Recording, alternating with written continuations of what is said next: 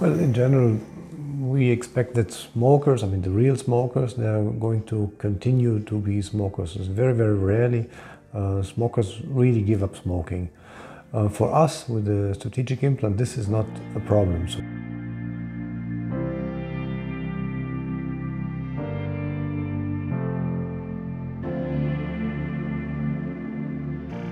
Smokers can smoke during the treatment days, they can smoke before and after. It, is, it does not affect the, the, integration of the implant, the fixation uh, of the bridge and so on.